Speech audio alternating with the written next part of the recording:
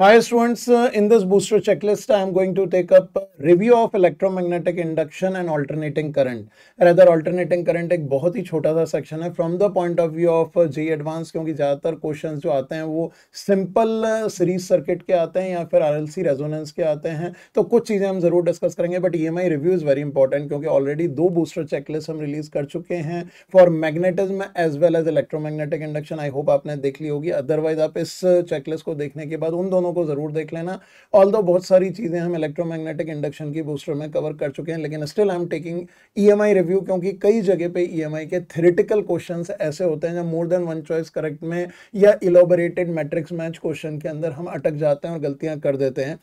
So quickly will be taking electromagnetic induction review rather इस checklist का major part वही रहने वाला है। और फिर कुछ चीज़ें हम एसी की ज़रूर करेंगे, जिसके ऊपर कई बार क्वेश्चंस रहते हैं। बट यस एसी में बहुत इंपॉर्टेंट है कि आप कॉन्सेप्ट वीडियोस को अच्छी तरह से देख लीजिए। वो अपने आप में जी एडवांस की सारी चीज़ों को कवर अप करता है। बाकी काम इस बूस्टर चेकलिस्ट से आपको मिल जाएगा। और एसी की जो रिविजन चेकलिस्ट है स्ट्रॉन्गली सजेस्ट वो कवर करके चलना। तो let us start with quick EMI review and alternating current thank you बोजी students मैंने एज यूजुअल जैसे बूस्टर चेकलिस्ट में मैं करता हूँ, अपना सेचुरेशन लेवल बॉडी का लो कर दिया ताकि कहीं पर डिस्ट्रैक्शंस ना हो और कोई भी वर्ड मेरी बॉडी के पीछे ना छुपे तो जस्ट फोकस ऑन दिस छोटी सी बूस्टर चेकलिस्ट है in which we are going to talk about EMI review आप सबको पता है ईएमआई के अंदर दो सेक्शंस रहते हैं. One is Faraday is law where EMI we calculate as D phi by D T और we consider motional B V L और half B omega L square already electromagnetic induction की booster checklist में चीज़ें covered हैं, लेकिन यहाँ पे कुछ चीज़ें रिपीटेटिव होंगी, लेकिन कुछ चीज़ें काफ़ी अच्छी आपको समझ में आने वाली हैं तो आई स्ट्रांगली प्रेफर कि आप शॉर्ट नोट्स बना रहे हैं। तो इस चेकलिस्ट को बहुत केयरफुली देखिएगा, क्योंकि सारी चीज़ों को एज ए फ्रेश ऑब्जॉर्व करेंगे तो क्लिकिंग एबिलिटी जो स्टिमुलेशन है वो काफ़ी बढ़ेगा आपका। और दूसरी चीज़ यहाँ पर हम बात करते हैं self and mutual induction cases already मैं ये कह सकता हूँ कि टाइम वेराइंग मैग्नेटिक फ़ील्ड के केसेस प्रीवियस चेकलिस्ट में कुछ एलिमेंट्री लेवल पे मैंने बता दिए थे अदरवाइज़ एडवांस इलस्ट्रेशन बुक से फॉलो कर लो. That will help you lot in understanding all the things so this better for you alternating current में दो ही चीज़ें हमारे काम आती हैं. वन इज़ फेजर एनालिसिस दूसरी हम बात करते हैं resonance and bandwidth of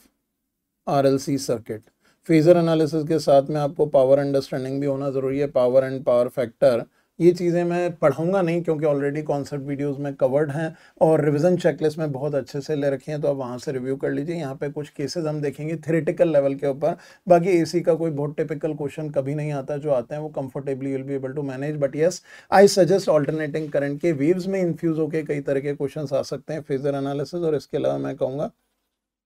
phase analysis question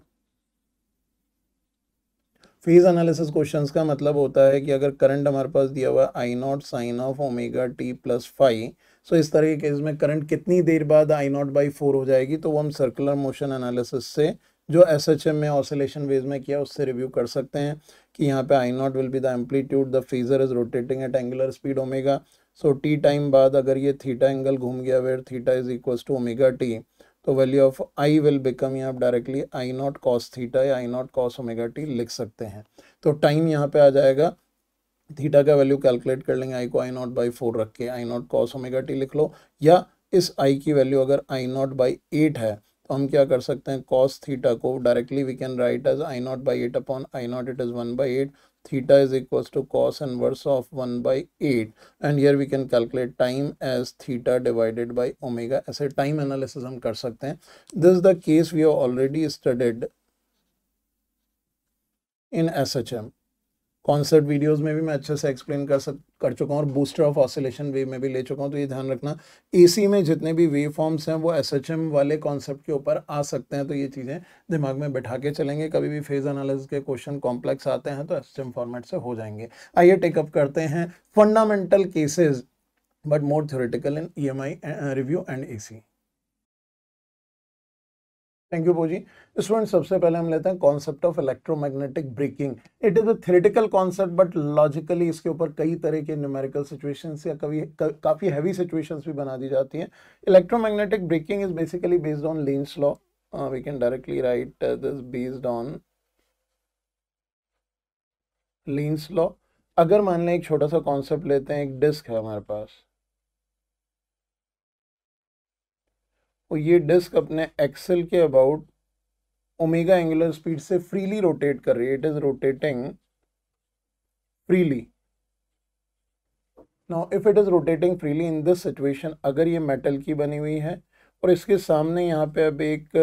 bar magnet लेके आ गए हम। इनिशियली बार मैग्नेट दूर थी इसके पास लाए। सो so, जो मैग्नेटिक फ़ील्ड यहाँ पे इस मेटल डिस्क के ऊपर पास होगा वी नो वेल के इट प्रोड्यूस इंड्यूस करेंट्स और इंड्यूस करंट्स क्यों इंड्यूस होती हैं? इंड्यूस करंट इंड्यूस होती हैं मैग्नेटिक फ़ील्ड को अपोज करने के लिए, क्योंकि ये मैग्नेटिक फ़ील्ड पहले नहीं था, अब ये पास आ रहा है तो ये मैग्नेटिक फ़ील्ड यहाँ पे इंक्रीज होना शुरू होगा one magnet is coming close तो एक तो इंड्यूस करंट क्लोज होगी क्योंकि मैग्नेट पास आया, दूसरा ये डिस्क रोटेट हो रही है तो the section of disc is also cutting these magnetic flux तो ऑटोमेटिकली यहाँ पे इस तरह के आप ये कह सकते हैं करंट्स इंड्यूस होना शुरू होंगे जो इस डिस्क को अपोज करना शुरू करेंगे या ये कहें डिस्क जिस डायरेक्शन में घूम रही है उसके अपोजिट डायरेक्शन में फोर्स और टॉर्क डेवलप करना शुरू कर देंगे। अगर ये डिस्क राइट साइड से देखने पे एंटी क्लॉकवाइज घूम रही है तो ये मैग्नेटिक फ़ील्ड के कट होने की वजह से जो इंडक्शन हो रहा है, वो अपने कॉज को अपोज करेगा। और कॉज है rotation of this field and bringing close to the magnet अब मैग्नेट पास लाए तो अपोज होगा, और मैग्नेट ला के रोक दिया तो भी रोटेशन की वजह से अपोज होगा। दो फैक्टर्स यहाँ पे हैं। तो what happen in the situation ये टॉर्क इस डिस्क के रोटेशन को अपोज करेगा और धीरे धीरे ये रिटार्डेशन एंगुलर रिटार्डेशन की वजह से ये डिस्क रुक जाएगी। यहाँ पे मैं ज़्यादा चीज़ें लिखूँगा नहीं this understanding is more important for you so this called magnetic braking अब इस ब्रेकिंग को और स्ट्रॉन्ग करना है तो कंडक्टिविटी ऑफ़ डिस्क बढ़ा देंगे तो यहाँ पे करंट ज़्यादा होगी टॉर्क इंक्रीज हो जाएगा। सो so, यहाँ पे हम ये कह सकते हैं कि जो ब्रेकिंग होगी this braking will be proportional to conductivity अब बात ये आती है why it is directly proportional to conductivity तो आप ये कह सकते हैं, जो टॉर्क होगा वो करंट के प्रोपोर्शनल होगा और करंट होगी ईएमएफ अपॉन रेजिस्टेंस और आर होता है रो एल बाई ए तो rho is one by sigma तो ये डायरेक्टली प्रोपोर्शनल ही रिलेशन निकलेगा. ब्रेकिंग मतलब यहाँ पे टॉर्क की बात करेंगे और एंगुलर एसोलेशन अल्फ़ा की बात करेंगे तो वो कंडक्टिविटी के प्रोपोर्शनल जैसा रिलेशन स्ट्रेट फॉरवर्ड बनेगा. इसी तरह से मैग्नेटिक ब्रेकिंग में हम बात करते हैं, मान लेते हैं एक कॉइल है हमारे पास। This coil is oscillating as a simple pendulum हम ये चाहते हैं इस कॉइल का जो ऑसिलेशन है if it is freely oscillating in vacuum there is no resistance force acting on it और इसको ब्रेक करना है। अब यहाँ पे कोई भी मैग्नेटिक फ़ील्ड लगा दो। In any direction B in any direction क्योंकि कॉइल का प्लेन चेंज हो रहा है तो किसी भी डायरेक्शन में बी लगाएँगे तो फ्लक्स तो कट होगा। फ्लक्स कट होगा तो ईएमएफ इंड्यूस होगा। ईएमएफ इंड्यूस होगा तो करंट डेवलप होगी क्योंकि क्लोज कॉइल है। करंट डेवलप होगी, in whichever direction current would be developing it does not make any difference we can directly state कि ये इंड्यूस करंट अपने कॉज ऑफ़ इंडक्शन को अपोज करे और कॉज ऑफ़ इंडक्शन है ऑसिलेशन क्योंकि भाई अगर रुका हुआ होता तो ऑसिलेशन नहीं होते इंडक्शन भी नहीं होता फ्लक्स कॉन्स्टेंट रहता। तो क्या होगा यहाँ पे? Due to applied magnetic field oscillations will damp out. This is a very important point to be understood और अगर ये कॉइल पूरी नहीं होती, कटी हुई होती तो भी क्या ऑसिलेशन डैम्प होते? हैं नहीं होते, क्योंकि कटी हुई कॉइल में करंट इंड्यूस नहीं होता है। That is a very important point and the same is the concept we can write same concept is use in quick damping of moving coil galvanometer आपने मूविंग कॉयल गैल्वेनोमीटर पढ़ा होगा। Moving coil galvanometer में there is a damping की using moving coil galvanometer में एक damping key होती है जो कुछ नहीं करती, वो सिर्फ़ शॉर्ट सर्किट प्रोड्यूस करती है। अगर एक मूविंग कॉयल गैलोनोमीटर की की ऑसोलेट कर, जो बैलिस्टिक गैलोनोमीटर में बहुत ज़्यादा काम आता है, क्योंकि ballistic galvanometer is a highly sensitive galvanometer एक मिरर और बहुत ही लो कांस्टेंट के स्प्रिंग से वो मिरर ऑसोलेट हो रहा होता है। सो इन दैट केस जो कॉयल होती है उस कॉइल को डैम करना ज़रूरी नहीं तो बहुत देर तक उसका स्पॉट ऑसिलेट करता रहता है रीडिंग ऑसिलेट होती रहती है। तो जैसे हम शॉर्ट सर्किट की दबाते हैं तो गैलोनोमीटर की कॉइल में करंट फ्लो होता है। मैग्नेटिक फ़ील्ड में एक करंट फ्लो हो रही है और कॉइल ऑसिलेट कर रही है तो सडनली वो डैम्प हो जाती है। So that is a point which is very very important बहुत सारे ऐसे केसेस हैं, लेकिन मैं सिर्फ़ आपको आइडिया दे रहा हूँ कि कैसे इलेक्ट्रोमैग्नेटिक ब्रेकिंग का कॉन्सेप्ट यूज़ होता है। अभी तो इलेक्ट्रोमैग्नेटिक ब्रेकिंग आपकी ऑटोमोबाइल में भी यूज़ होने लगी है कि जब ब्रेक लगाया जाता है तो एक सडन मैग्नेटिक फ़ील्ड आता है जो कार के टायर्स को ब्रेक कर देता है। अगर कंडक्टिविटी बहुत हाई है तो electromagnetic braking is much efficient compare to friction braking क्योंकि फ्रिक्शन ब्रेकिंग में गाड़ी के टायर में वियर एंड टीयर काफ़ी हो जाता है। Electromagnetic braking wear and tear से फ्री होती है। Lot of concept study based on this आइए आगे बढ़ते हैं। थैंक यू भोजी सिमिलर एक केस होल्ड लेते हैं ब्रेकिंग का ही बट इस पर कई बार क्वेश्चन आ चुके हैं तो you need to be careful एक बहुत ही लॉन्ग मेटल सिलेंडर या ये कहेंगे मेटल की शाफ्ट बनी हुई है। इसके ऊपर से हमने इसमें एक तो पीस ऑफ़ आयरन ड्रॉप किया और एक मैग्नेट ड्रॉप करी what happen iron piece drop करोगे तो ये स्ट्रेट गिरता जाएगा और फाइनली यहाँ पे इसका एसेलरेशन इक्वल्स टू जी होगा and it'll come out with some velocity equals to you can write root two g L if L is the length of this cylinder if it is very large तो बहुत high speed से निकलेगा। But in case of a magnet जब ये magnet यहाँ पे fall कर रहा होगा तो हम अच्छी तरह से जानते हैं कि इस मैग्नेट का जो मैग्नेटिक फ्लक्स होगा इसकी सराउंडिंग में, ये वाला मैग्नेटिक फ्लक्स क्योंकि मैग्नेट मूव कर रहा है या रिलेटिवली देखें मैग्नेट के रिस्पेक्ट में सिलेंडर ऊपर मूव कर रहा है और रिलेटिव मोशन से मेटल का सिलेंडर है तो एडी करंट्स डेवलप हो जाएँगे। तो एडी करंट अपने कॉजेज को अपोज करेंगे और कॉज है मोशन ऑफ़ मैग्नेट तो इस पर एक अपोजिट डायरेक्शन में रेजिस्टिव फोर्स लगेगा। और जैसे जैसे मैग्नेट की स्पीड बढ़ती जाएगी वी कैन सेंस कि वैसे वैसे ईएमएफ e इंडक्शन भी बढ़ेगा क्योंकि rate of change of flux through this cylinder is increasing और स्पीड बढ़ने के साथ रेजिस्टेंस फोर्स बढ़ेगा और ये तब तक बढ़ेगा जब तक कि एमजी को बैलेंस नहीं कर लेता। तो अगर ये बहुत लंबा है, कई बार ऐसा गिवन होता है वेरी लॉन्ग तो यहाँ पे जो मैग्नेट इन सच सिचुएशन बाहर आएगा तो ये टर्मिनल स्पीड से बाहर आएगा क्योंकि after some time what happen यहाँ हम ये कह सकते हैं after some time resistive force will be balancing the weight क्योंकि resistive force will depend on the rate of change of magnetic flux which is intercepted with walls of this cylinder so certainly in this one this will increase at some point of time when it will balance m g after that terminal speed will be attain so this what you need to keep in mind basic चीज़ें, अगर ये short भी होता है तो भी हम ये कह सकते हैं कि ये टर्मिनल स्पीड नहीं भी हुई even if velocity of magnet is less than terminal speed मतलब ये मान लेते हैं कि टर्मिनल स्पीड अटेन होने से पहले सिलेंडर खत्म हो गया। Then also you need to keep in mind जो मैग्नेट की वेलोसिटी होगी वो लेस देन वी आयरन होगी। आयरन की जो स्पीड होगी इससे कम होगी। That's what you need to keep in mind so छोटी छोटी चीज़ें दिमाग में बैठा के रखनी है। More than one choice correct में इस तरह के कई क्वेश्चन आ जाते हैं। थैंक यू भोजी स्टूडेंट इसी सीक्वेंस में एक चीज़ और लेते हैं because the chapter is very important from the point of view of such theoretical questions jumping disc over coils इस पे बेस कई बार क्वेश्चंस अलग अलग तरह से पूछे जा चुके हैं say there are two coils C one and C two और इन कॉइल्स के ऊपर रखी गई हैं दो identical disc D one and D two फ़र्क ये इनकी रेजिस्टिविटी रो एक्स और रो वाई अलग अलग है अब अगर इन कॉइल्स के अंदर हमने यहाँ पे दोनों में आई करंट पास कराया suddenly so due to a current I यहाँ पे मैग्नेटिक फ्लक्स डेवलप होगा, इसमें भी फाइव डेवलप होगा, इसमें भी फाइव डेवलप होगा तो सडन फ्लक्स आने की वजह से disc D one D two में एडी करंट्स डेवलप होंगे। और ये इस फ्लक्स को अपोज करेगा तो इसमें अपोजिट डायरेक्शन में करंट इंड्यूस होगा। और अपोजिट करंट की अगर हम बात करें तो हमें पता है एक दूसरे को रिपेल करते हैं तो सडनली क्या होगा? दोनों डिस्क ऊपर जंप लेंगी। से ये वाली डिस्क एच वन हाइट पे जंप करके पहुँच जाती है, और ये वाली डिस्क एच टू हाइट पे जंप करके पहुँच जाती है। So if H two is greater than H1 और ये जम क्यों किया, उसका रीजन आपको क्लियर होना चाहिए। जैसे करंट फ्लो कराया सडन फ्लक्स आया। Sudden flux change mean suddenly current induction होगा और अपोजिट करंट की वजह से in a very short period of time an impulse will be generated impulse पे मैथमेटिकल क्वेश्चंस भी बताता हूँ मैं किस तरह के आते हैं। पहले इस लॉजिक को समझो। So this will take a jump तो अंडरस्टूड है, जिसने स्पीड ज़्यादा अटेन करी होगी, उसकी हाइट ज़्यादा होगी।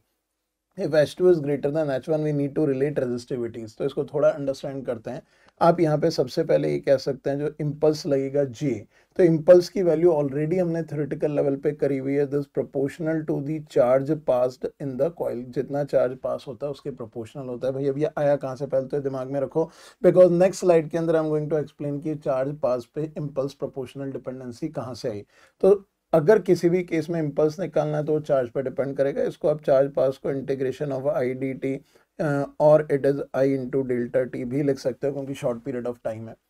Now in this case Q pass की अगर हम बात करें तो क्यू का वैल्यू या क्यू पास का वैल्यू लिखा जा सकता है change in flux upon resistance this what you already studied मैंने पहले भी कहा था रिविजन चेकलिस्ट के फंडे दिमाग में अच्छे से होने चाहिए because this booster checklist we are stepping ahead for brain stimulation in JEE advance level problems तो बेसिक थ्योरी आनी चाहिए। So if it is delta phi by R R is rho L by A तो आप यहाँ से directly कह सकते हैं Q is inversely proportional to the resistivity in the situation. अब आप देखिए, जो इम्पल्स आएगा impulse is proportional to Q pass and impulse J is equals to m v तो यहाँ पे आप कह सकते हैं, जो स्पीड अटेंड होगी it is proportional to Q pass और it is inversely proportional to rho मतलब जिसकी रजिस्टिविटी ज़्यादा है, उसकी स्पीड कम होगी। तो if H two is greater than H one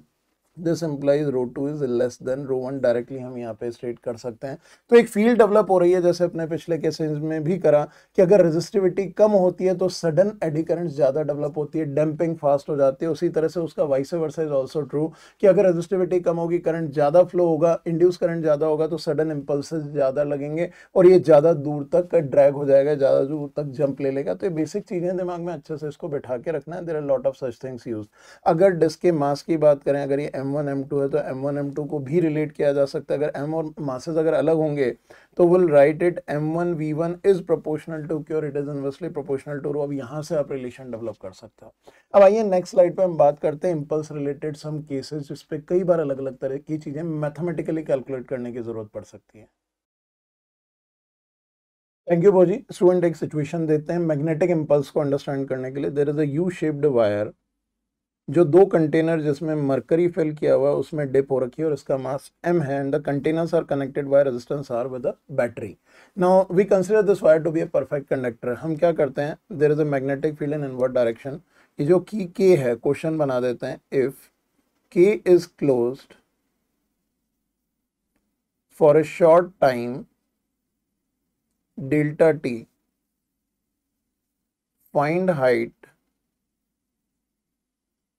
to which wire W will jump. ये वाली वायर W है, ये कितनी हाइट तक जंप करेगी, ये निकालना है। अब जब सबसे पहले अगर हमने इसको क्लोज किया तो यहाँ पे एक करंट फ्लो होगी। आई आई का वैल्यू हम लिख सकते हैं V by R which flows for a very short time delta T जैसे ये करंट यहाँ पे पास होगी तो this wire due to inward magnetic field आप राइट हैंड पाम रूल से निकाल सकते हैं। मैग्नेटिक फोर्स एक्सपीरियंस करेगा यहाँ पे B I L F L is the length of this wire and this force acts only for a time delta T तो हम ये कह सकते हैं यहाँ पे directly impulse of magnetic force in this situation is given as BIL delta T. Already in case of magnetism booster checklist similar चीज़ें हमने करी हैं but you need to be careful this B I L delta T यहाँ पे कोई induction concept use नहीं हो रहा है but this very useful for you B I L delta T will write as M V and this will give you the value of V is equals to B I delta T को आप charge pass भी लिख सकते हैं. Q pass can be written as I delta T so this becomes B Q this B Q L divided by M so आप impulse की वैल्यू B Q L भी दिमाग में बिठा सकते हैं in case of a charge pass through a conductor is Q तो इस पर जो इम्पल्स uh, लेगा वो बी क्यू एल लगेगा। So B Q L by M as V तो height attain can be written as V square by two g directly you can write like this students इसी sequence में next concept लेते हैं अपन magnetic impulse होना disc अभी हमने बात करी थी लीनियर मोशन की, अब हम बात करेंगे रोटेशनल मोशन की। सेम की इज़ देर अगर की को क्लोज करेंगे तो यहाँ पे there is a conducting disc अगर यहाँ पे कंडक्टिंग डिस्क है, जिसकी सरकमफरेंस एक कंडक्टिंग रिंग से जुड़ी हुई this metal ring in contact with disc इसका पर्पज सिर्फ़ इतना सा है कि अगर यहाँ पे अगर इस की को इस की को अगर यहाँ पे क्लोज किया जाता है तो जो करंट फ्लो होगी वो करंट यहाँ पे रेडियली डिस्ट्रीब्यूट होगी. That is specified in the question की current radially flows out in the surface of disc और फाइनली करंट पास ऑन होता है. सो so, की को वापस से यहाँ पे स्विच ऑन किया है for a time delta T only अब हमें ये निकालना है क्वेश्चन मान लो हमसे पूछ लिया जाता है find angular speed attained by disc इस डिस्क की वजह से, इस डिस्क में कितनी एंगुलर स्पीड अटेन होगी? और यहाँ पे जो चार्ज पास होगा क्यू पास आप डायरेक्टली लिख सकते हो V by R into delta T current into delta T is the charge pass through it अब अगर आई पास हो रहा है तो मैग्नेटिक फ़ील्ड यहाँ वर्टिकली डाउनवर्ड डायरेक्शन में अब हम देखें तो इस पर मैग्नेटिक टॉर्क कितना लगेगा। Let us consider a small elemental section, which is of angular width d so so, इस सेक्शन के अंदर जो करंट पास होगी डी आई ये वाली करंट होगी d I and this I can write I divided by two pi into d theta क्योंकि मैं मान रहा हूँ कि करंट यूनिफॉर्मली रेडियली डिस्ट्रीब्यूटेड है। तो इस एलिमेंट के ऊपर जो मैग्नेटिक फोर्स लेगा वो लेगा B into d I into R और जो फोर्स एक्ट करेगा फ़ील्ड डाउनवर्ड है करंट इधर है तो सेंट्रल पॉइंट के ऊपर लगेगा डी एफ़ और यहाँ पे जो टॉर्क आएगा d tau which I can write as d F into R by two so this comes out to be B R square by two multiplied by d I now if you integrated for the whole segment of two pi angle और whole disc in that case you can write when you integrate net torque यहाँ पे जो value निकल के आएगी this will be integration of d torque and this will be B R square by two multiplied by integration of I d theta by two pi and limit from zero to two pi तो theta और two pi cut जाएँगे, आ जाएगा हमारे पास B I R square by two so if here it is the torque we can simply write torque multiplied by delta t is the angular impulse or gain in angular momentum which is equals to i omega so for this we can write half mr square into omega so when you put it over here it gives b q r square by 2 which is the angular impulse delta ये relation भी आपको ध्यान रखना है which is half mr square omega so यहाँ पे r cancel हो गया ओमेगा का वैल्यू डायरेक्टली आ गया आपके पास Q B by M that set simple सा केस है। ये क्यू बी बाई एम आया क्योंकि ये टू कैंसिल हो गया। डिस्क की जगह कोई और सिलेंडर होता है यहाँ पे या कोई और तरह का ऑब्जेक्ट होता तो in that case situation would have been different but in this case this the value of angular speed attain तो आपको बेसिक लेवल पे चीज़ों को ध्यान में रखना अबाउट एंगुलर इम्पल्स आइए अब बात करते हैं वापस से कि अगर यहाँ पे इलेक्ट्रोमैग्नेटिक इंडक्शन को अकाउंट किया जाए, क्योंकि ओमेगा एंगुलर स्पीड इसमें अटेन हो गई, क्योंकि ये सब प्रोसेस क्विक हुई है। अगर ये कॉन्टिन्यूस ओमेगा से घूम रहा होता तो क्या होता? That's what is to be accounted over here also let's have look on the same situation modified with electromagnetic induction accounting into it thank you Bhoji so student एक और थोड़ा इलाबोरेटेड केस है, उस पर बात करते हैं। सेम सिचुएशन है, लेकिन अब हमने टी को टी की को टी इक्वल टू ज़ीरो पे क्लोज कर दिया। तो अब यहाँ पे due to battery current flow होना शुरू होगी और इस करंट की वजह से ये डिस्क रोटेट होना शुरू हो जाएगी। हम यहाँ पे बात कर चुके हैं जो टॉर्क एक्ट करता है, अभी just now discuss you just have look on this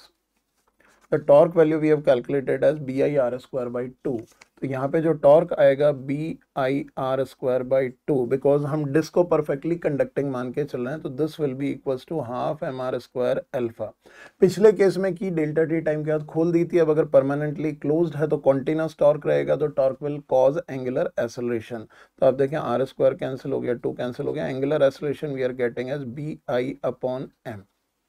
this the angular acceleration but अब यहाँ पे आई क्या होगा? क्या इसको हम वी बाई आर ले सकते हैं? नहीं ले सकते। क्योंकि अगर ओमेगा एंगुलर स्पीड से डिस्क घूम रही है तो डिस्क में एक ईएमएफ भी इंड्यूस होगा और induced EMF in rotating disc जब हम बात करेंगे तो ये इंड्यूस ईएमएफ होता है half B omega R square R यहाँ पे रेडियस ले रहे हैं आर वन रेजिस्टेंस मान लेते हैं ताकि कोई कंफ्यूजन ना हो। So half B omega R square यहाँ पे रोटेटिंग डिस्क का मोशनल ईएमएफ होगा, जो हम ऑलरेडी थेरेटिकली कवर कर चुके हैं concept video as well as an revision checklist तो ये चीज़ ध्यान में रखनी है। और हमें पता है ये जो ई होगा, ये एक्सटर्नल बैटरी को अपोज करेगा। आप चाहें तो निकाल के भी देख सकते हैं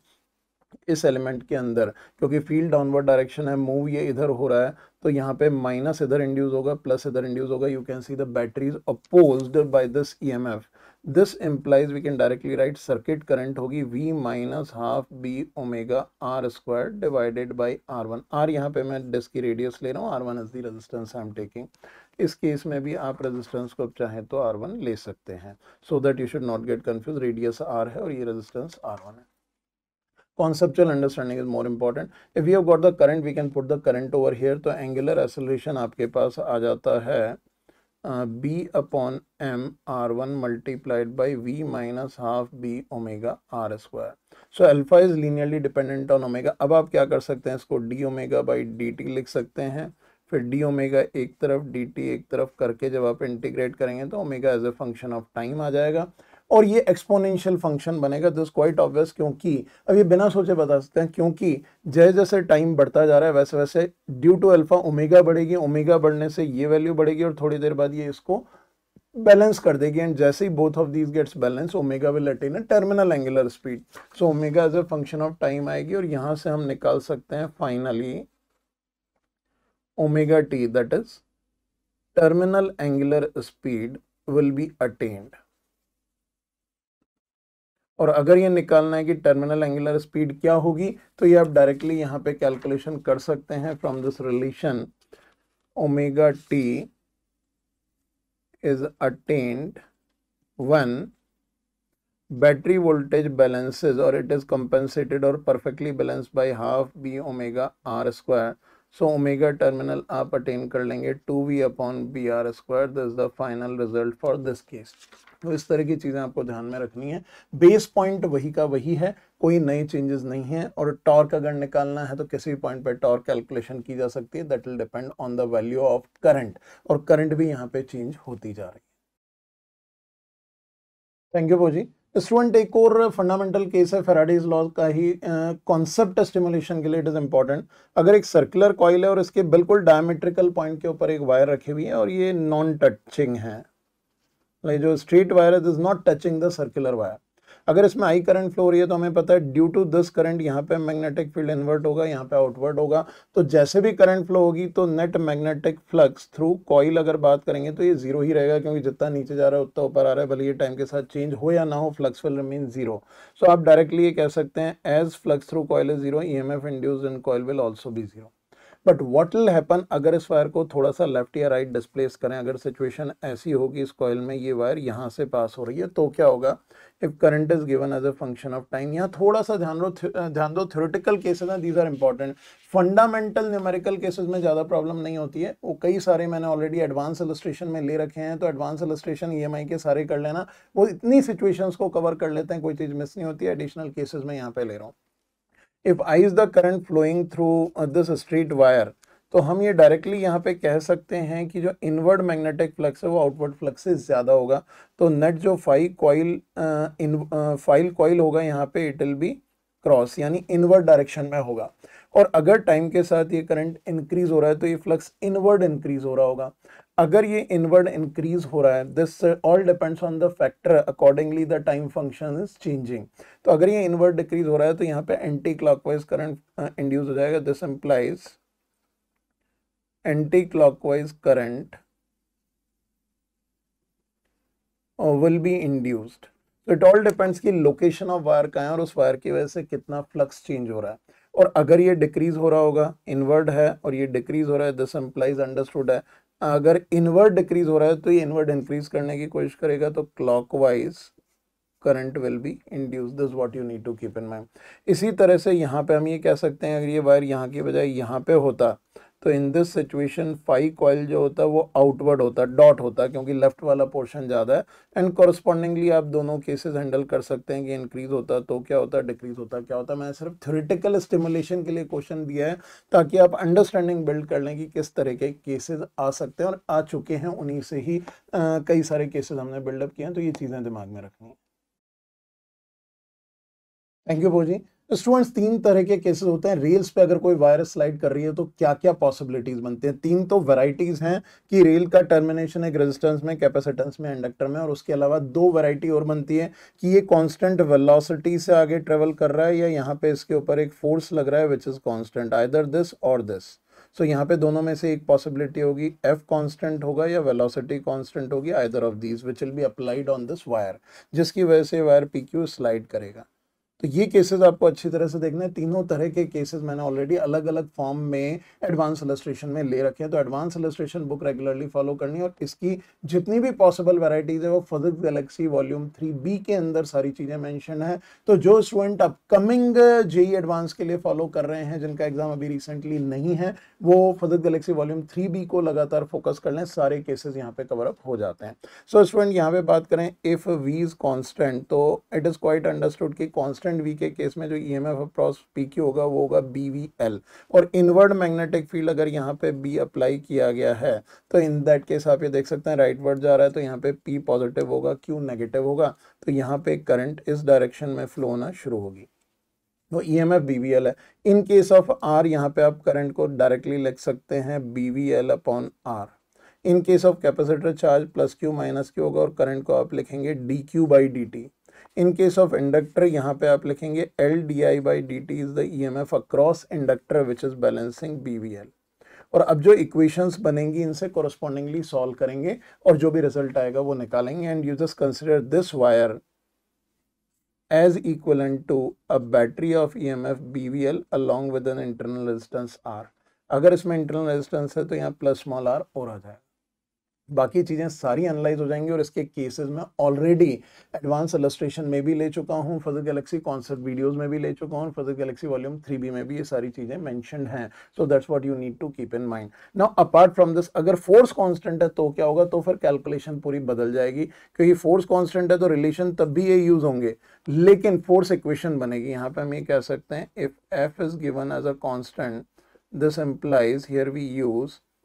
F minus B I L is equals to M A क्योंकि इसके ऊपर हमेशा बैकवर्ड डायरेक्शन में बी आई एल फोर्स भी लगेगा तीनों केस में। अगर वेलोसिटी कांस्टेंट दी है तो we are least bothered about कि वो कांस्टेंट कैसे रखी गई है क्वेश्चन में वी कांस्टेंट दे दिया तो लेना है, फिर बी आई एल का कोई सिग्निफिकेंस नहीं है। लेकिन अगर फोर्स कांस्टेंट है तो F minus B I L M A लेंगे, फिर ए को आप D V by D T लिखें या इसको V D V by D X लिखें कॉरस्पॉन्डिंगली इसको सॉल्व करके फिर एनालिसिस से रिज़ल्ट निकलेगा। That's what is important analysis सारे हमने किए हैं। अब इसमें ये मैंने फ्लैट केस लिया है, ये इंक्लाइन प्लेन पे भी हो सकते हैं तो एम जी का साइन थीटा काउंट हो जाएगा। बी आई एल का भी कोई कंपोनेंट हो सकता है। अगर मैग्नेटिक फ़ील्ड प्लेन के परपेंडिकुलर नहीं है तो लाइक like अगर इस तरह की सिचुएशन है, ये केस तो ऑलरेडी मैंने लिया बट आप यहाँ पे इसको आर सी या एल कुछ भी मान सकते हैं। Say this an incline plane at an angle theta magnetic field vertically up है और वायर यहाँ पे है। और अगर ये वी से इधर जा रहा है दिस पी क्यू तो सबसे बड़ा डिफरेंस तो यहाँ पे क्या आ जाएगा? ई एम एफ़ हो जाएगा आपका बी वी की जगह आप यहाँ पे वी का कॉस थीटा यूज़ करेंगे। This B V L cos theta V का वी कॉस थीटा मैंने यूज़ किया है क्योंकि बी के परपेंडिकुलर कंपोनेंट लेते हैं। दूसरी चीज़ इस पर बी आई एल हॉर्जोंटल लगेगा। तो अपवर्ड डायरेक्शन में it will be B I L का साइन थीटा तो will write M G downward act करेगा। एक तो M G sine theta plus external force अगर एफ़ लग रहा है minus B I L sine theta is equals to sorry this B I L cos theta if this angle is theta B I L cos theta is is to M MA तो equation F minus B L M A की जगह बनेगी, वही equation components को आप carefully use करेंगे। ई M F induce भी जो होगा वो B V L cos theta हो जाएगा इन तीनों इक्वेशंस में। तो I given you core idea about all type of cases जो रेल्स पे बेस्ड आते हैं, जो क्वेश्चन बहुत फ्रिक्वेंटली आ जाते हैं, इसका ध्यान रखना। इन केस ऑफ़ इंडक्टर ये भी बहुत इंपॉर्टेंट है कि अगर कॉन्स्टेंट फोर्स है तो in case of F constant यहाँ पे ऑसोलेशन स्टार्ट हो जाते हैं और ऑसोलेशन टाइम पीरियड अपने आप जब आप इस इक्वेशन को इलाबरेट करेंगे तो एस एच एम की डिफरेंशियल इक्वेशन बनेगी, जिससे आपका टाइम पीरियड निकल जाएगा। तो ये ध्यान रखना, ये ऑलरेडी केसेस एडवांस इलस्ट्रेशन में लिए हुए हैं। बुक में भी पीजी वॉल्यूम थ्री बी में है तो केयरफुली ओवरव्यू ले लेना, क्योंकि इसी तरह की चीज़ें पूछी जाती हैं। Students when we talk about inductor RL circuit मुझे पता है आपने current growth decay of RL circuit base level पे पढ़ लिया होगा रिवीजन चेकलिस्ट में भी कवर कर रखा है तो that section I won't repeat over here वो चीज़ें मैं चाहूँगा आप अच्छी तरह से कर लें और उसमें सबसे क्रिटिकल केस होता है इक्विवेलेंट सर्किट या थेवनेंस इक्विवेलेंट बनाना, किसी भी आरएल सर्किट का और टाइम कॉन्स्टेंट कैलकुलेट करना, वो आप देख लीजिएगा that you can cover up from the basic concept videos एक केस में भी ले लूँगा। लेकिन important section over here is energy and flux and active inductor that's what you need to understand अगर हमारे पास कोई एक इंडक्टर है सेल्फ इंडक्शन एल है और यहाँ डॉट बना है मीन्स करंट फ्लो हो रही थी इसमें और ऑलरेडी इसमें I naught current last flow हो रही थी तो इसमें स्टोर्ड एनर्जी होगी half L I naught square और इसमें जो फ्लक्स होगा that we can write as L I naught लेकिन फ्लक्स रिटेन रहेगा अगर इसके अंदर कोई कोर है और मैग्नेटिक मैग्नेटाइजेशन के लिए कोई मैग्नेटिक मटेरियल भरा हुआ है तो। और हम आइडियल कंडीशन में मान लेते हैं कि इसका फ्लक्स और एनर्जी डिके नहीं होती, इसमें सस्टेन रहती है, जबकि प्रैक्टिकल कंडीशन में ऐसा नहीं होता थर्मल एजिटेशन से हमेशा डिके आउट हो जाती है। हम आइडियल कंडीशन में मान के चलते हैं, अगर इस इंडक्टर को हमने क्या किया, एक रेजिस्टेंस के साथ और एक दूसरे इंडक्टर के साथ एल डैश के साथ कनेक्ट किया along with the switch so एक ही कॉन्सेप्ट आपको ध्यान में रखना है when the switch is closed तो सबसे पहली चीज़, जैसे ही हम यहाँ पे स्विच को क्लोज करेंगे तो जो करंट इस इंडक्टर से फ्लो होनी चाहिए। आरएल सर्किट में अकेला इंडक्टर होता है तो हम इस बात को समझते हैं कि in case of a single inductor हमेशा जो करंट फ्लो होती है, वही होती है जो इनिशियली फ्लो रही होती है। लेकिन अगर एक और इंडक्टर है तो सडन करंट फ्लो जो होती है, उसको ये अपोज कर देता है। और हमको पता है, एक जो सडन अपोजिशन होता है it is like an inelastic collision जिसमें सडन एनर्जी ड्रॉपेज हो जाता है कई बार। सो जब भी कोई इंडक्टर को दूसरे इंडक्टर के साथ सडन कनेक्ट किया जाता है तो यहाँ यहाँ पे फ्लक्स इनर्शिया काउंट करते हैं हम। So just after closing the switch आप ये चीज़ ध्यान रखें initial flux L I naught था। This must be equal to final flux which will be L plus L dash into I I final यहाँ से आपके पास आई फाइनल आएगी। और ये आई फाइनल होगी at T equal to zero पे, जब ये स्विच क्लोज होगी। और उसके बाद वो करंट यहाँ पे फ्लो होगी and this will start decaying out across resistance R and further at T equals to zero plus अगर हम देखेंगे तो in that condition T equals to zero अच्छा यहाँ पे भी कंडीशन हम लेके चलते हैं फ्लक्स uh, रिमेन कांस्टेंट ये कंडीशन हम यहाँ पे लेके चलेंगे अपने सिलेबस में। इसी लिमिटेशन के ऊपर केसेस को हमको हैंडल करना है। There are more cases linked with this वो सारी चीज़ें हम अभी डिस्कस नहीं करेंगे। Otherwise with magnetic materials the cases will be different यहाँ पे हम सिर्फ़ फ्लक्स कॉन्स्टेंट के केसेस या फ्लक्स कंजर्व्ड के केसेस की बात कर रहे हैं। So further at T equal to zero plus अगर हम बात करें तो हम करंट का वैल्यू लिख सकते हैं। And the way current decays out is I naught E to power minus R T divided by L की जगह एल प्लस एल डैश लोगे, क्योंकि दो इंडक्टर्स जब सीरीज़ में होते हैं तो in that case will be considering them with an equivalent inductance L plus L dash और इसके आगे प्लस माइनस टू एम लग जाता है depending on if mutual induction is present और नॉट ये चीज़ें बेस थ्योरी में हम कवर कर चुके हैं। तो अभी सिर्फ़ आपको ये फ्लक्स कंजर्वेशन वाला लॉजिक ध्यान में रखना है। कई बार पैरेलल इंडक्टर्स भी होते हैं तो वहाँ पे भी करंट अगर आई वन आई टू होगी तो it is such that flux will remain conserve that's what you need to use in such limiting conditions thank you बोजी so quickly students हम एडवांस आर एल ट्रांजिएंट्स भी बात करते हैं जिन पे cases भी आ जाते हैं कई बार, और कई बार ये दिमाग को ओपन करने में भी ये सर्किट्स बहुत काम करते हैं। Instead of a simple R L circuit यहाँ पे एक बैटरी कनेक्टेड है, तीन रेजिस्टेंस और एक इंडक्टर से। और यहाँ पे टी इक्वल टू ज़ीरो पे स्विच को क्लोज किया और हमको निकालना है रेजिस्टेंस में current as a function of time inductor के across potential difference as a function of time या कुछ भी पूछा जा सकता है, हमको तो सर्किट को सॉल्व करना है। सो इन दैट केस इसका मैथड वन तो हम यहाँ पे अप्लाई करेंगे। सिंपली हम इंडक्टर को ओपन कर देंगे across terminals A and B तो इस ए और बी टर्मिनल्स को अगर ओपन कर दोगे तो यहाँ पे ये रेजिस्टेंस आर बचा this another resistance R and this another resistance R battery का इंटरनल रेजिस्टेंस ज़ीरो मानेंगे तो will also consider battery as a short circuit तो यहाँ पे internal resistance across A B आप देखोगे तो this R and R is in parallel is R by two in series with R so this comes out to be three R by two कई students जिनको ये चीज़ समझ में नहीं आ रही है they need to understand and watch our previous videos in concept video section और in advance illustration to understand how I applied Thevenin's method या method one I am using Thevenin's method of equivalent battery that's what I am doing तो battery को हम short circuit क्यों कर रहे हैं? मैंने ऑलरेडी एक्सप्लेन किया। आर बाई टू आ गया। अब इसके बाद ए और बी के अक्रॉस बैटरी का पोटेंशियल डिफरेंस अगर देखा जाए तो सेकंड हम ये ले सकते हैं if it is there this R this R this A this B r will not have any current through it if uh, inductor is uh, removed and a and b are open. So ये r और r के case में potential difference across AB आप देख सकते हैं it is V by 2 so in this situation from here and here the equivalent circuit we are getting is a battery of V by 2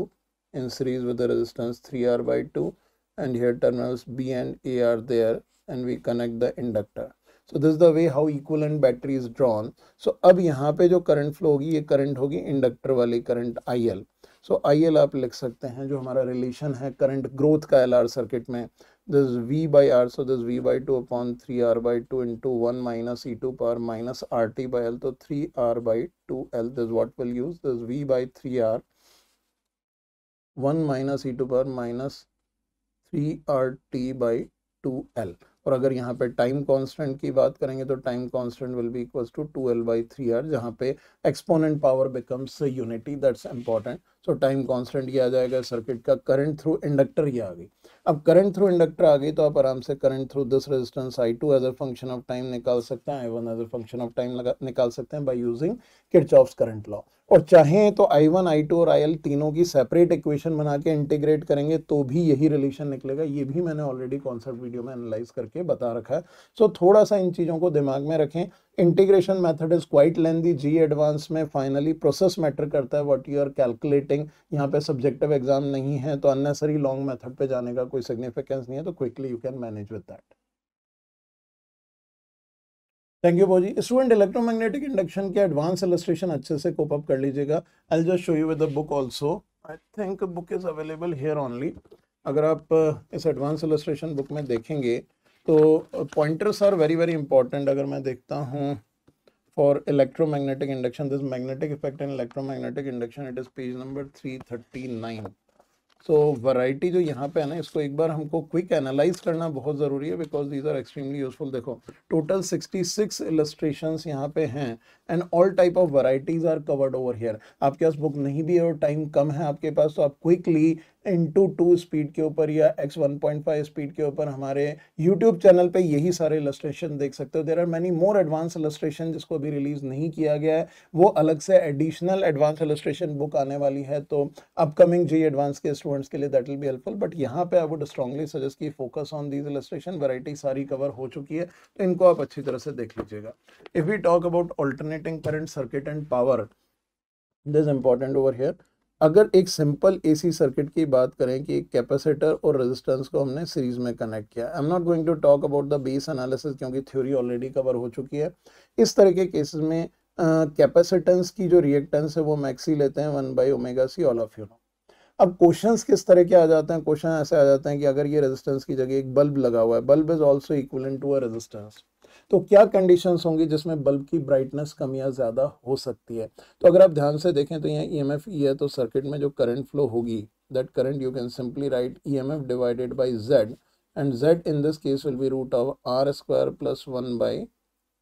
omega square C square अब आप ध्यान से देखें अगर इसकी angular frequency E will be obviously E naught sine of omega T base logic बता रहा हूँ मैं।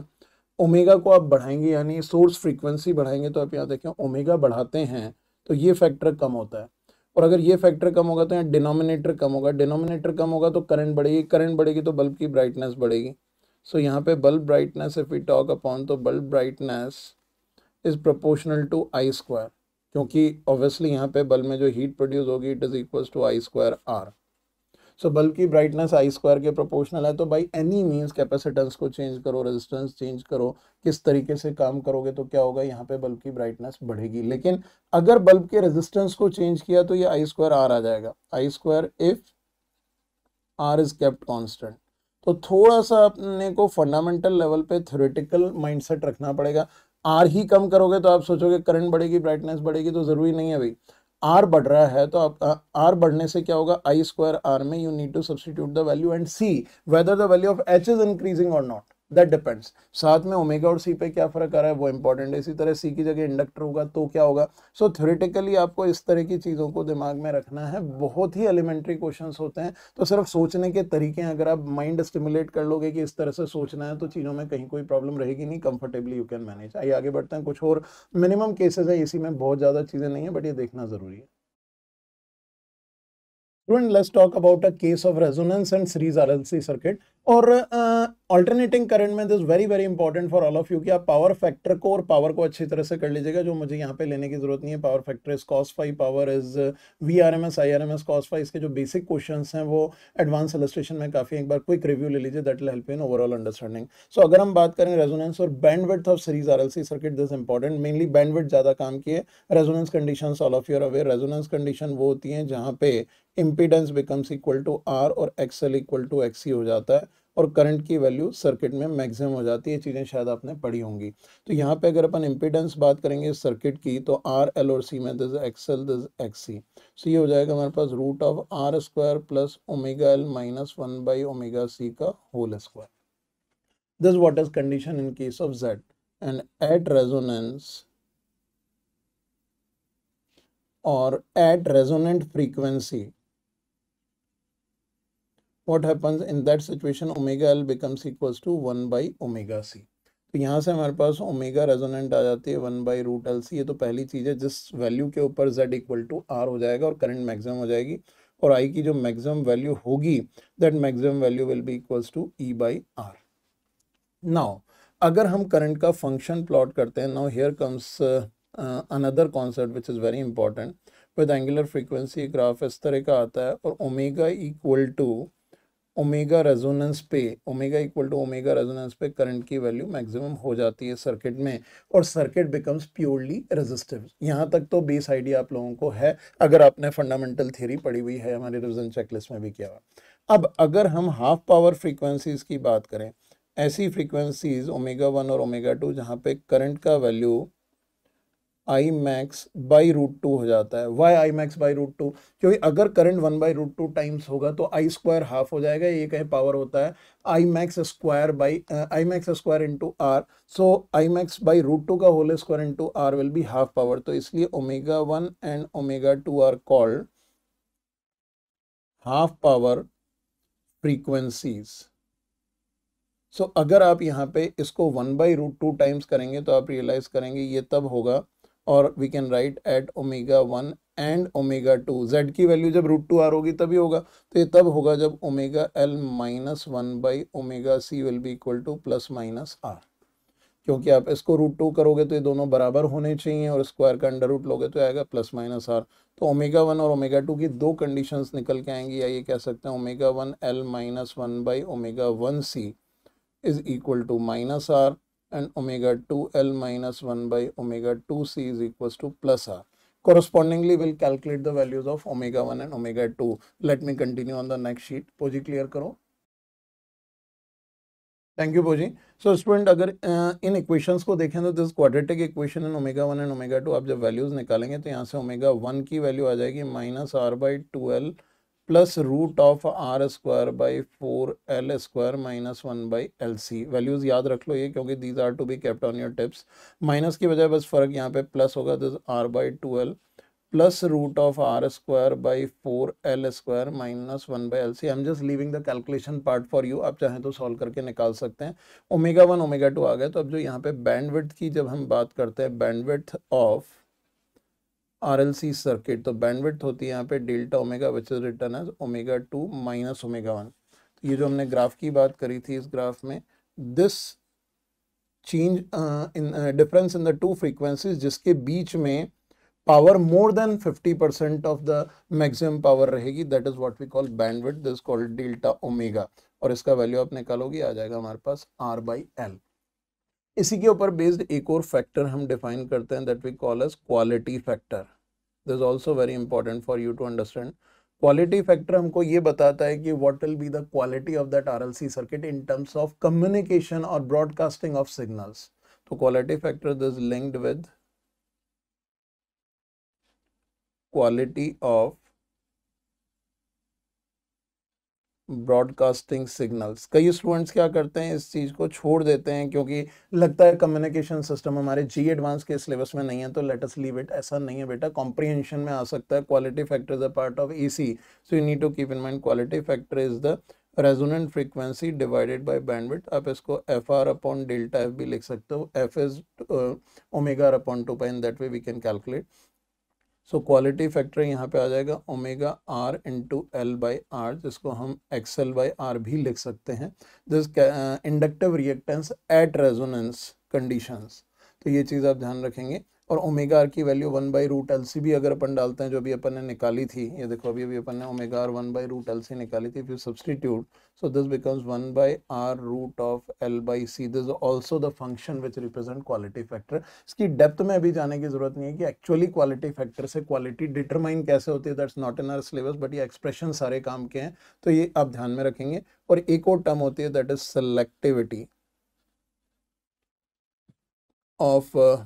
RLC circuit selectivity ये बताती है हमको कि सर्किट कितना सेलेक्टिव है in terms of broadcasting of a communication signal मतलब कितना इजीली हम ट्यून कर सकते हैं, जैसे आप रेडियो की नॉब घुमा के चैनल्स को ट्यून करते हो तो जिस चैनल की सेलेक्टिविटी अच्छी हो क्विकली ट्यून होगा एफएम चैनल जैसे आप ट्यून करते हो और instantly you get a crystal clear voice तो selectivity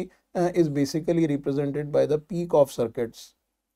ये जो भी अपन ने ग्राफ्स की बात करी, मान लो ये अलग अलग तरह के ग्राफ हैं, वन, टू और थ्री तो थ्री एक शार्प पीक्ड है। शार्प पीक के अंदर बैंडविड्थ कम होगी, क्वालिटी फैक्टर हाई होगा तो इसकी थ्री की we can say selectivity of three is greater than selectivity of two is greater than selectivity of one इसके बारे में कम्युनिकेशन सिग्नल को आप अगर अंडरस्टैंड करेंगे कौन सा वीडियो में पढ़ते हैं तो काम आएगा but JEE advance point of view से उतना डेप्थ में अभी जाने की ज़रूरत नहीं है। But as in JEE advance syllabus this communication systems will also भी included then certainly this will be an integral part तो आपको केयरफुल रहना है। जितना पीक शार्प होगा, उतनी सेलेक्टिविटी हाई होगी, ये चीज़ ध्यान रखेंगे low bandwidth means high selectivity. That's what you need to keep in mind. So my dear student, as far as uh, this section of alternating current and electromagnetic induction is there, I won't be pulling it large. Transformer का एक section है जो मैं यहाँ नहीं ले रहा हूँ क्योंकि कॉन्सेप्ट वीडियो में ट्रांसफार्मर बहुत अच्छे से मैंने कवर कर दिया और चेकलिस्ट के अंदर भी बेस पॉइंट्स हैं तो आप एक बार अच्छे से रिव्यू कर लीजिए और इस सेक्शन को पूरी तरह से रैप कर लीजिए बिकॉज़ चीज़ें जितनी भी मैंने लिए हैं उनका पर्पज़ था कि आपका ब्रेन इवॉल्व हो और सोचने के तरीके एनहांस होगी चीज़ें सामने आती हैं तो उनको कैसे देखा जाता है? दैट्स मोर इंपॉर्टेंट बाकी तो पढ़ने को इतनी चीज़ें हैं जिसकी लिमिट नहीं है। अपकमिंग कोर्सेज भी फिजिक्स गैलेक्सी चैनल के ऊपर आने वाले हैं। तो I think you'll enjoy with high level of physics from the very elementary physics concept video हम बेसिक से स्टार्ट करके एडवांस लेवल पे जाते हैं। तो stay tune with physics galaxy books as well as our channel अभी तक join नहीं किया तो टेलीग्राम चैनल और हमारी मोबाइल ऐप को भी ज्वाइन कर लो। Lot of things you are going to get wish all the best